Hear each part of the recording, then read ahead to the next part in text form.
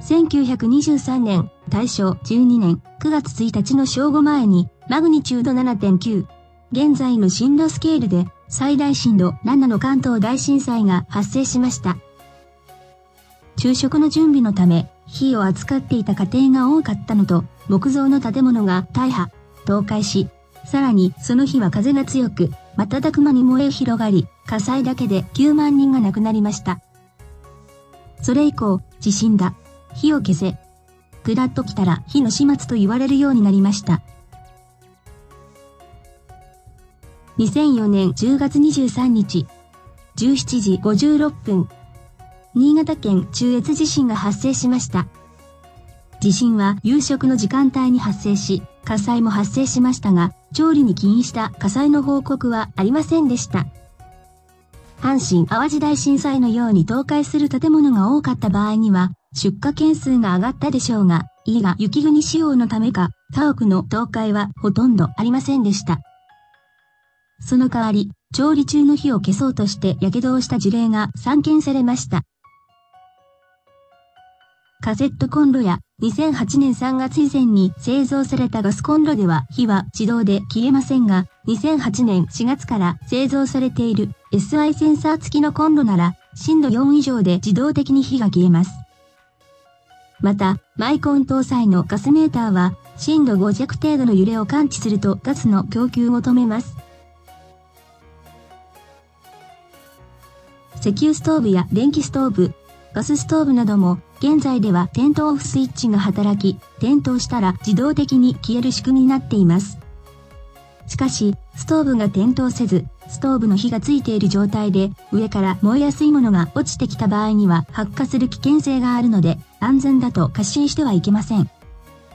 ただ、歩けないほどの地震の揺れは10秒も続きませんし、火の始末は揺れが収まってから対処すれば問題ありません。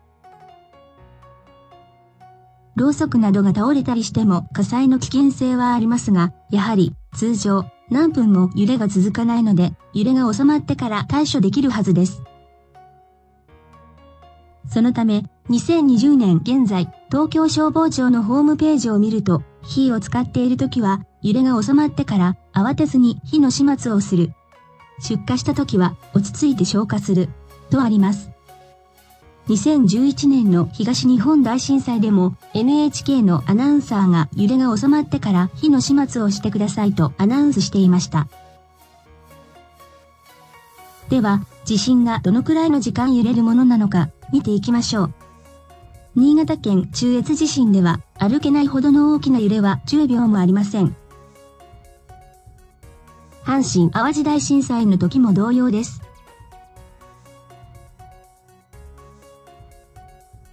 しかし、東日本大震災で震度4以上の揺れが続いた時間は、東京千代田区大手町では2分以上、福島県では3分以上揺れ続けました。これは岩盤が広範囲に次々と連鎖的に破壊していったため、このような長い時間揺れる結果となりました。さらに、これより3倍以上長く揺れる地震があったらどうしましょうそんなこと、あるわけがありませんか？過去に地震計の針が9分30秒以上振り切れる強く長い揺れが続いた地震が関東地方で観測されました。それが大正12年に発生して火災で9万人を焼き殺した関東大震災です。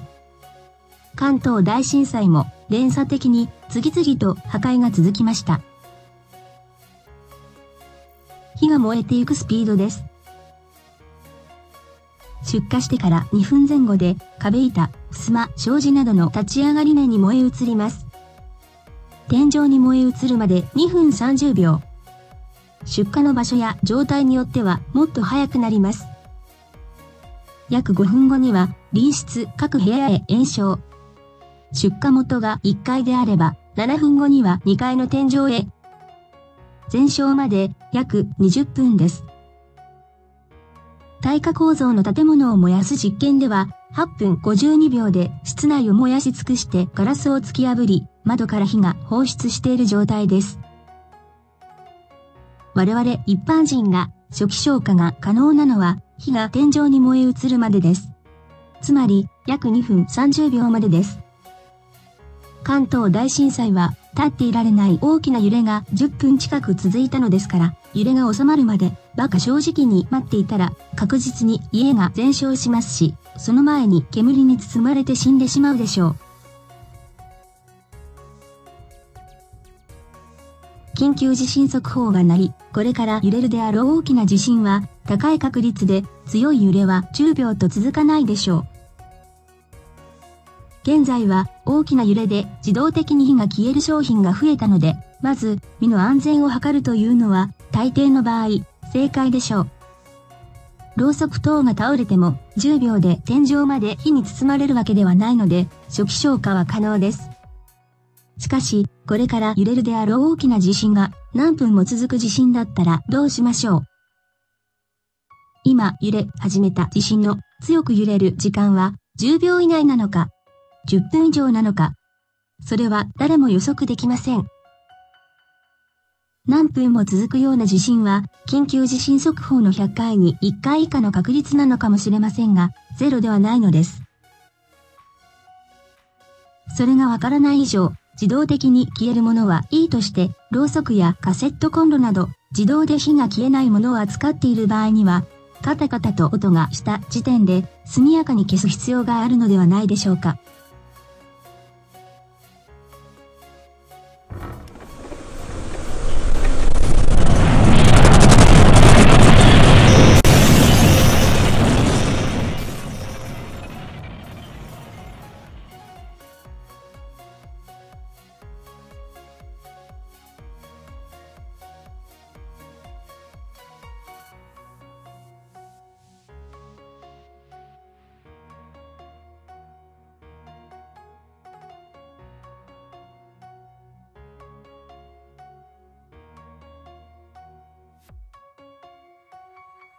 ただし、ここまでの話は家が倒れたり、家具が倒れてこなければの話です。強烈な揺れがたった数秒しかない地震でも家具を固定していなければ部屋の中はこうなります。もし、この部屋でカセットコンロを使っていたらどうなっていたでしょうか揺れが収まってから落ち着いて消火ができるでしょうか